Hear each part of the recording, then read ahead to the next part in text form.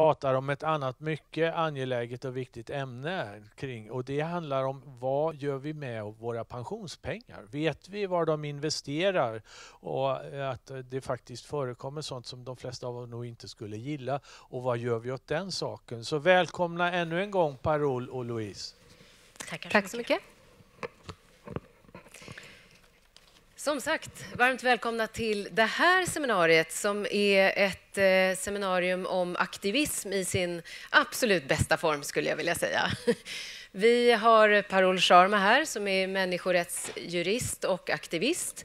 Eh, och själv heter jag Louise Lindfors och jag är generalsekreterare i Afrikagrupperna. Och vi har någonting gemensamt. Vi har ganska mycket gemensamt. men, vi, men vi har faktiskt eh, varit delaktiga tillsammans i ett initiativ som heter Vi anmäler AP-fonderna till FN. Och det är det initiativet som vi ska samtala här om nu i en halvtimme ungefär. Ja. Och det är, är väldigt spännande på många sätt. Så vi ska försöka trickla ut både hur en kan vara med eh, vilka som ligger bakom det här, varför vi har tagit det här initiativet och vad som är själva problemet.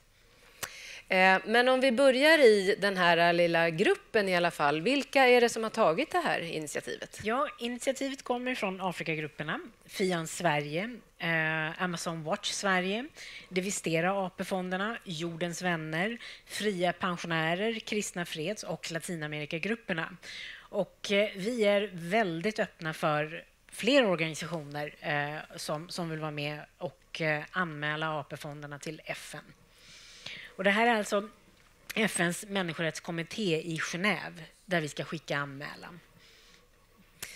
Och det är också några enskilda aktivister eller starka röster. skulle man kunna... Röster. Ja. Absolut. Och Gudrun Schyman är en sån stark röst. Mm. Men hon representerar, hon är väldigt noggrann med det. Mm. Hon representerar Fria pensionärer som, som ju är en organisation som arbetar just för uh, klimat och miljöfrågor och försöker då aktivera och engagera pensionärer i frågan. Det är en eh, väldigt viktig grupp ja. eftersom det också handlar om just pensionspengar och investeringar. Precis så. Och, och vi KG hade, Hammar. Ja, men precis. Mm. Det är ändå eh, fint att, att, se att det finns ett engagemang från olika håll, både civilsamhällsorganisationer men också personer och individer som, som brinner för mänskliga rättigheter ja, och ser att det här precis. är en väg att gå. Och Sen har vi ju också, och det ska jag inte sticka under stolen med, förlorat lite civilsamhällsorganisationer också som eh, tycker att det är lite besvärligt att kanske anmäla en statliga myndigheter samtidigt som man också är beroende av statliga medel för egna, den egna verksamheten. Men det är upp för en annan diskussion framöver. Men inom civilsamhället pratar vi mycket om shrinking space och mm. jag tycker personligen att det här är ett, ett ett klassiskt exempel på ett ytterligare shrinking space i så fall där man inte har möjlighet att agera eller tror att man inte eller upplever eh, att man inte har möjlighet att agera för att man har någon typ av beroendeställning. Det där är ju så spännande och givetvis hade vi ju den diskussionen på Afrikagrupperna. Om man jobbar med primärt, eller man har en väldigt stor eh, del av sin eh, omsättning som faktiskt är statliga medel, mm. Eh, eh, kan man då liksom stämma staten? kan man vara så tuff och fri och radikal? Och det är ju som du säger, i förhållande till just det krympande demokratiska utrymmet så är det ju ändå ett sundhetstecken i Sverige att Ja, vi är ganska många som tycker att vi, vi vågar kan och ja. kan det. Ja, eh, så, så, det är ju apropå demokratitemat här på mässan så är det en viktig aspekt att lyfta tycker jag. Ja, precis. Ehm, men själva initiativet då som sådant, som du sa, då, då handlar det om att anmäla de svenska AP-fonderna till eh, människorättsinstansen i Genève som, ja, där, där eh, ju FN har ett speciellt kontor som just bevakar hur eh, alla lever upp till mänskliga rättigheter och bevakar fall som har med mänskliga rättigheter att göra. Och där ingår också mark och jordfrågor som, ett, mm. som en naturlig del av liksom in, under spektrumet MR och mänskliga rättigheter. Eh, men, men vi gör ju det här lite grann nu för att eh, svenska folket är ju lite... Vi befinner oss i ett gisslandrama. Det är det bästa sättet vi kan förklara det på. För att, eh, 1500 miljarder eh, svenska kronor eh, investeras genom eh, de, de pensionsfonderna som vi pratar om idag. Och väldigt många miljarder investeras direkt in i fossila projekt och projekt som är rent av dödliga och genomskadliga för mänskligheten. Um, så att, så att, och här har vi ingenting att säga till om.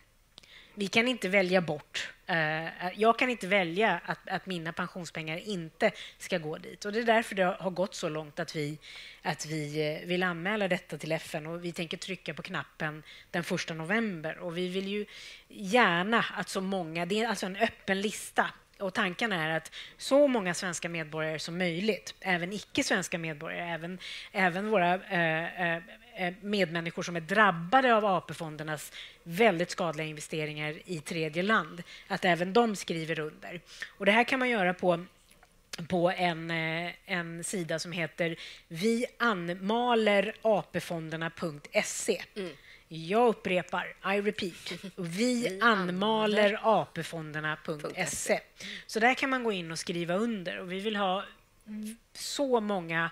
Alltså målet Personer, är individer, företag. Alla, alla, kan vara med alla. och skriva på det här. Ja. Och det, målet är väl... Vi har ett, eh, ett mål som vi har satt att 10 000 underskrifter eh, vill vi ha fram till den 1 november då vi trycker på knappen mm. så att säga, och anmäler fonderna. För ja. det är ett gisslandrama här nu. Och något ja. Stockholmssyndrom har inte uppstått heller eh, och kommer inte göra det heller. Utan istället så blir vi mer och mer besvärade och agiterade över att, att liksom investeringarna går helt i fel riktning. Ja, mm. precis. För det är det du, du tar upp, att det, det är ju svårt som enskild eh, skattebetalare att veta eller, eller hur, hur det här liksom statligt organiseras. Exakt vad är problemet då? Det finns ju då, dels handlar det om att man kanske de här AP-fonderna investerar i företag som är multinationella bolag som verkar i eh, utvecklingskontext ofta. Det kan vara kopplat till fossila bränslen ja, och eh, den typen av eh, verksamhet. Och ett case, då, ett exempel till exempel som vi kan ta från Afrikagruppernas verksamhet, det är ju att vi jobbar mycket i Mosambik. Mm. I norra Mosambik finns det en provins som heter Capo Delgado och utanför kusten där så har man hittat mycket gas som går att utvinna eh, i havet. Mm.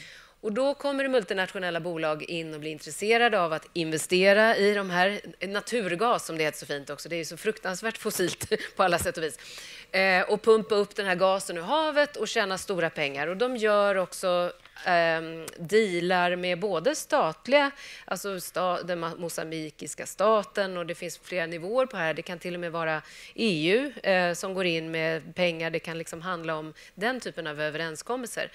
Ehm, men om man då tricklar ner det till, okej, okay, vad är problemet? Jo, det är, här är det liksom en fransk fossiljätte som yeah. heter Total som har fått ett kontrakt att börja pumpa upp den här gasen. Och vad händer då i, i samhället i en väldigt så fragil utvecklingskontext där det redan är stor torka på grund av både klimatförändringar men också den eh, landsbygdsproblematik som, som är där med dåliga vägar, dålig infrastruktur, i, låg tillgång till färskvatten och så vidare.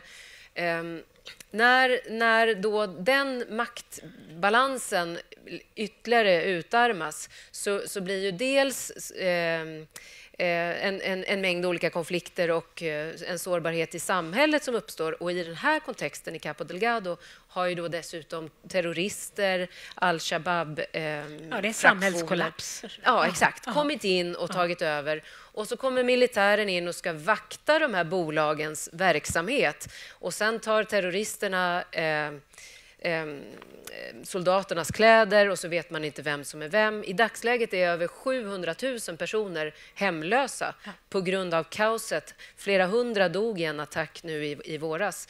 Eh, och, och, och, då kan man, när man börjar liksom sortera ut det så, ja. när man förstår vilken enorm konsekvens ett sånt här företag eh, kan kan ha på mänskliga rättigheter, på klimat, på hållbarhet, på, på allt som vi värnar. Liksom.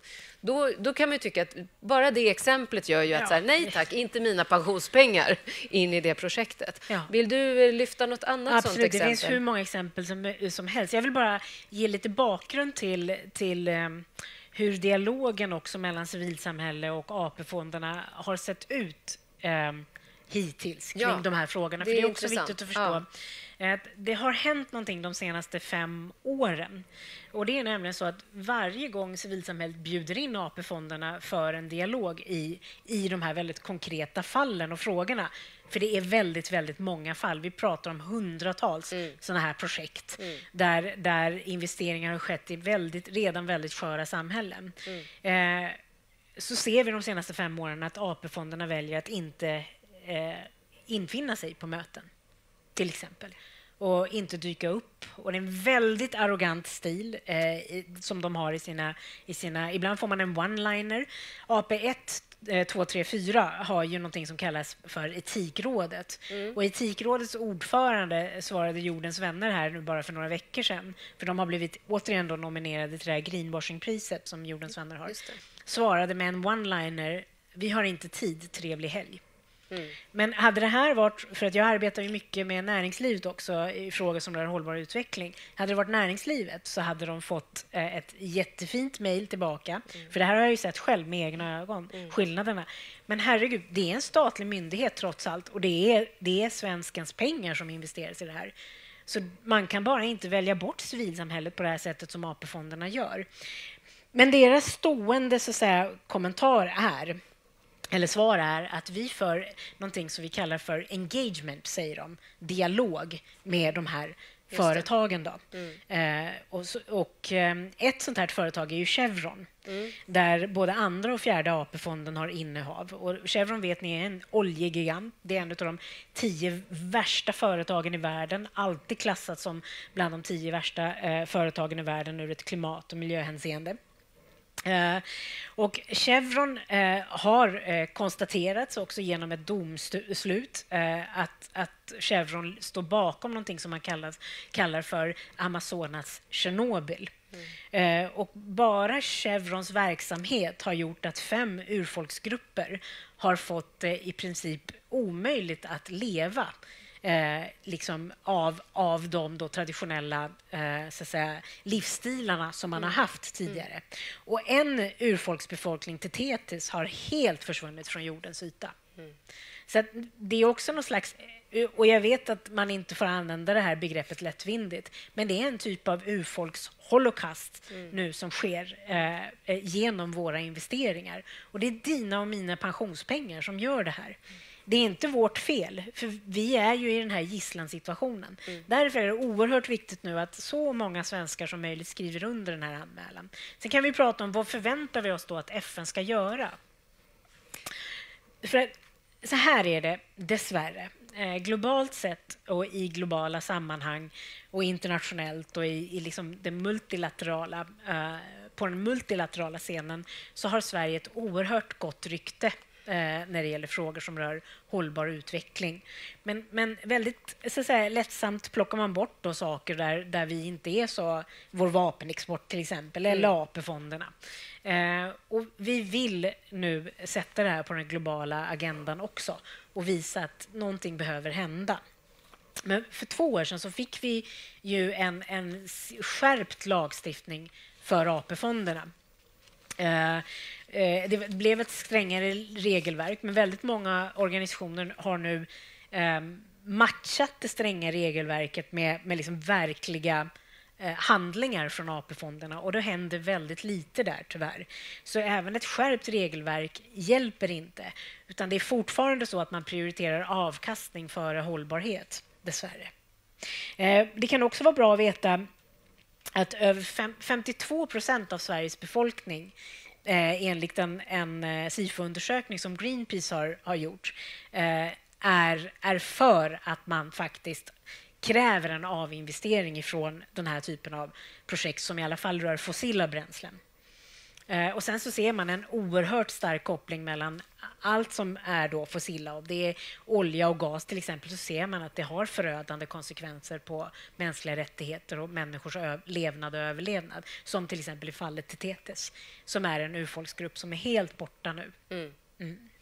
Och Det är så intressant, eh, som du säger också, hur det hänger ihop. Eh, det ena liksom skulle kunna leda till det andra och att faktiskt då i näringslivet som ändå kanske inte är bäst i klassen på, på hållbarhet ändå har en mycket mer progressiv syn på att faktiskt vilja leverera. För vi är ju många som tycker att liksom vi ska värna planeten och att den ska överleva mm. och att inte bara mänskliga rättigheter ska värnas utan även naturens rättigheter. Mm. Och, och, där skulle man ju vilja att ett land som Sverige, som du säger, som har en demokratisk ledartröja som alltid står främst när det handlar om de värdena och värnar dem, framförallt i, i FN-dialoger och annat, eh, också kunde ta ett lite mer fördjupat ansvar just när det gäller statliga investeringar. Absolut. Och, och med en sån här anmälan hoppas vi att det blir en större bevakning ifrån FNs sida, men men en konsekvens som brukar bli med såna här anmälningar det är att någon, någon sån här särskild rapportör då, i någon särskild sakfråga tar sig an då uppdraget och börjar titta och granska.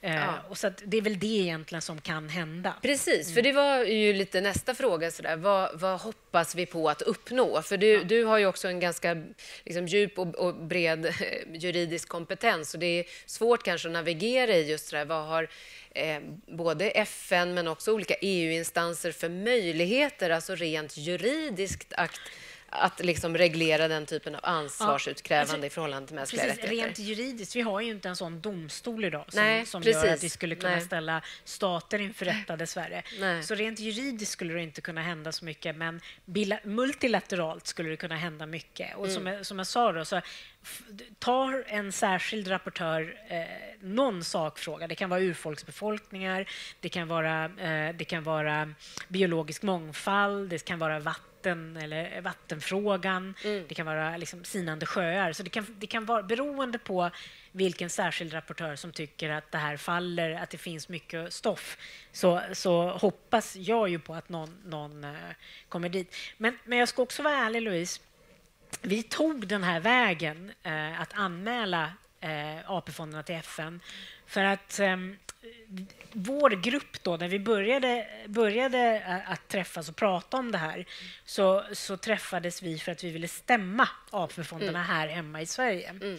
Men, eh, men det finns liksom ingen rättshjälp för civilsamhället som vill, som vill driva såna här frågor i domstolar. Vi såg då en ganska stor risk med enormt tunga rättegångskostnader mm. som, som ingen civilsamhällsorganisation egentligen kan ta. Och det, det, det här är också en demokratifråga. För att, för att varför finns det inte rättshjälp för såna här processer för? Där, där civilsamhällsorganisationer eller aktivister faktiskt kan driva fr frågor i rätten utan att åka på en riktig ja. ekonomisk smäll. Så att grunden var ju att vi ville stämma. Och med det sagt, det kan fortfarande hända. Men just nu är det en anmälan till FN. Mm. Mm. Finns det, har du eh, exempel på fall? För jag vet att det har ju liksom publicerats globalt eh, något eh, i Storbritannien och något i Nederländerna, Nederländerna och så vidare. Något så här framgångsrika fall som man ändå kan ta som en liten... Fallet i Nederländerna och Belgien mm. är ju väldigt framgångsrika. Ja. Eh, nu känner inte jag till dem eh, i detalj, men, men i Belgien har man väl bara en AP-fond om jag inte mm. missminner mig. Eh, men där har de ju någon typ av, av rättshjälp mm. eller någon typ av försäkring mm. för såna här typer av, av eh, så att säga, eh, rättsprocesser ja. som inte vi har här hemma. Eh, som har gjort att man har drivit frågorna och där, där dom, domsluten har varit väldigt skarpa och i enlighet med Parisavtalet också, som jag har förstått. Mm. Där man har sagt att Nej, men ni får så och så mycket tid på er för att vända skutan. Mm. Men enough is enough. Mm. Medan här i Sverige är det ett enormt gullande också från regeringens sida i förhållande till AP-fonderna. Mm. Och att man hela tiden går på den här dialogföringen. Säg, men, säg mig, ett så farligt företag som Chevron, mm. som har så mycket liv eh, på, på sitt samvete hur kan man fortfarande från svenskt håll, från AP-fondernas sida, hävda att man för dialog? När så mycket skada redan har åsamkats. Ja, det är också en fråga om var dialogen förs med vem. Liksom. Mm. Vilken, mm. Eh, det är ju mm. definitivt inte rättighetsbärarna i den kontexten där det här bolaget vill etablera sig, Nej, utan det handlar om en, en, dialog med, med bolaget. Absolut och det så. andra som du var inne på också, den här tomma stolen, AP-fonderna som aldrig dyker upp Nej. i den här typen av samtal. Vi hade ju gärna mm. bjudit in dem, eller vi hade ju, har ju mm. försökt många gånger. Och eh, det är ju också ett demokratiproblem, ut, alltså även från en svensk kontext. Det, ja, det måste vi vara väldigt tydliga med. Att, eh, så är det ju. Ja. För förra året minst det, så var det ju eh, två pristagare, Right, right Livelihood-pristagare. Mm. Eh, eh, som, som var i Sverige Ja. och där vi berättade om, om deras kamp eh, som försvarare, både eh, försvarare av den biologiska mångfalden och den andra försvarare för mänskliga rättigheter. Eh, och då bjöd vi in eh, brett till ett sånt seminarium. Och det var också eh, en stor skara civilsamhällsorganisationer och Right Livelihood Foundation som stod bakom. Ja. Eh, men AP-fonderna eh, sa Ingen nej. som kom. Ingen kom. Nej. Och det, det, här är, det här är, och jag kommer fortsätta säga det tills de, börjar, tills de kommer. Och, Ja. För de är skyldiga. Det är mina pengar som används i det här. Det kanske är vårt, Nu sitter vi och hittar på liksom nya metoder i kampanjen, men det kanske är nästa sån här mm, brev, eh, liksom man liksom verkligen skickar jättemånga brev till de här enskilda personerna. För som du säger finns det också det här etikrådet som ändå ska jobba med de här frågorna hands-on. Det är deras arbete. Eh, och eh, det, det är ju det minsta vi som, som mm, medborgare kan kräva av eh, staten och, och dess organisation att Ja. eh, en dialog kan föras. Jag skulle också vilja lyfta lite av den här greenwashing-problematiken som Ja. finns nu, förutom det här med dialog och engagement som AP-fonderna. Ni hör ju... Jag, jag är ju ganska blunt och det är ju, det är ju du också, Louise. Då hade det varit skönt om de kunde sitta här och, liksom Mm. Och försvara sig. försvara sig. Men okej, skitsamma. Ja, Om ni ja. Mm. inte vill då så får ni ta det så här. Men de har ju också kallat sig själva för lite som AP7 kallar sig för den mjuka soffliggarfonden. där du Mm. det, där inte bekvämt ska kan behöva. Mm. försäkra dig om att det går rätt till och att man inte behöver oroa sig. Och som, en, som en lat soffliggare kan du lätt bara liksom byta Med gott med samvete gott luta samvete. Precis. tillbaks. Men, Ja. men Sjunde AP-fonden har sammantaget 11 miljarder kronor investerade i kol, olja och gas.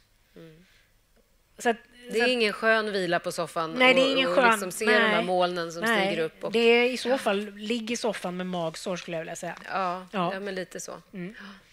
Så det vi nu eftersträvar och med, med full kamp, det är ett, ett förbud att förstöra för, för mark, andras mark och jord, att sluta investera i fossila projekt och att värna om de mänskliga rättigheterna. Sen hur de gör det, det är upp till dem. Men det räcker nu. Enough is enough. Och många säger så här, men eh, det finns en annan idé också som, som från statligt håll där man har, upp, man har uppmuntrat idé om att där, även där ligger vi väldigt långt fram. Att AP-fonderna med sin engagement, med sin det, med dialog, metoden. ligger väldigt lång, långt fram. Men sanningen är att det har hänt väldigt mycket mer Eh, inom Europa och av sådana här typer av pensionsfonder. Eh, och att det har gått mycket, mycket fortare eh, än vad det har gjort hemma i Sverige. Ja, för det, och det är ju en, en sorglig sak att, att det ska behövas ett medborgarinitiativ för att trycka på för investeringar som, som man ju utifrån ett ganska logiskt perspektiv kan tänka egentligen, alltså vi skulle kunna vara med och rädda världen här. Och det är ju också väldigt bra, alltså det finns ju väldigt bra eh, investeringar att göra just i saker som istället adresserar eh, miljöförstöring istället för att bidra till det. Och det är ju ett, ett, finns ju ett vinstdrivande perspektiv i det där också som ju verkar nästan lite... Ja, men det är, AP-fonderna ligger själva på soffan på något vis och inte anstränger sig att, Nej, men att, att vara i framkant och vara progressiva själva istället i, i investeringarna. Så är det. Men jag tycker det är absolut oroväckande att när de bjuds in eh, med, med inbjudningar som förklarar att så här illa har det gått till. Det finns folkgrupper som har försvunnit från jordens yta. Det finns mark som aldrig kommer att kunna nyttjas för jordbruk eller för något framöver för att det är så, det är så besprutat, det är så, det är så fullt av skit. Eh, att man ändå inte ser eh, behovet av att, att infinna sig och förklara hur... För det är också jätteviktigt att förstå, det finns väldigt lite av de här engagement eller dialogerna som är offentliga. Utan man tar bara upp enstaka fall där man tycker att man har rört, rört sig lite i någon riktning. Mm. Ja, någon form av... Det har skett en dialog, men den kan ju, det kan vara en mening och en mening och så Ja, precis tog den slut där. Ja. Och, och just som vi var inne på, att, att faktiskt se till helheten och de människor som berörs. De har ju inte varit med i en sån dialog, eh, hu- hur man än ser på det. Men vi har ju hemsidan då, vi anmäler apfonderna.se, så det är bara vi anmäler AP-fonderna utan prickar. Eh, gå gärna in där. Vi vill ju ha minst 10 000, men jag tänker vi skulle också kunna få 10 miljoner. Alltså det hela Sveriges befolkning borde ju rimligen tycka att det här är en, en, en bra förväntan, en bra väg att gå också. Ja. Att, att approchera FN och liksom Ja. sätta lite ljus på att eh, Sverige är bäst i klassen på mycket, men inte på allt. Vi har, har grejer att göra, vi också. Eh, vad, vad, är vi, vad är ditt sista liksom, budskap, ditt medskick eh, i det här mobiliseringsskedet? Liksom, Ja, nej, men, skedet? nej, men skriv under. Men skriv till eh, eh, Etikrådet, som det så heter så fint. Just det. Etikrådets ordförande, Mycket gärna. bra. Mm. Om ni vill ha en one-liner tillbaka. Nej, jag skojar bara. Nej, men sk- skriv till honom och fråga vad handlar det här om och hur lång tid tror du att, att vi har på oss? För att vi står vid ett vägskäl nu. Det är, det är liksom... Antingen fortsätter vi så här som vi har gjort och sen är det kört. Eller så, så bara sluta. Och han, det är som, det är vi måste stoppa. Liksom. Vi måste är- tända av Ja. fossilberoendet. Ja, Det är liksom det, en, det, vi finns ska en stanna i marken, punkt. Ja. Liksom. Hur lång tid får gå? Vad Mm. är deras tidsplan? För man får heller aldrig någon riktig koll på vad deras tidsplan är riktigt. Nej. Tyvärr. Så, så skriv gärna till Etikrådets ordförande. Han heter John Houchin.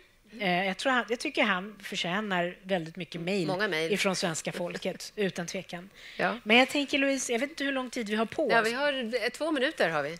Jag, tänkte, jag tänkte läsa en dikt faktiskt. Åh, gärna! Får jag göra det? Så För den, gärna. den, den är skriven av den numera avlidne eh, indiske poeten Kaifi Azmi som skrev väldigt mycket om skogen och livet. Och, eh, den är skriven på urdu, ett av de indiska språken, och jag har översatt den till svenska. Man får säkert inte göra så, men jag gjorde det i alla fall. Eh, men jag tycker den passar in väldigt väl på det vi pratar om idag, om AP-fondernas förstörelse av eh, miljö och biologisk mångfald, bland annat. Och jag tänkte att jag skulle försöka läsa den på samma sätt som, som indiska poeter läser poesin. Så det är, det är lite annorlunda tryck på vissa ord och det är lite annorlunda upprepningar. Men på urdu är den här en, en väldigt slagkraftig dikt som gör ont i själen. Eh, Jag vet inte riktigt om, om jag har lyckats översätta det, men vi får se. Jag vill inte att det ska göra ont i själen på någon av er, men Bara alla fall få lite Bara feeling. lite. Mm. Hör du ljudet från fåglarna?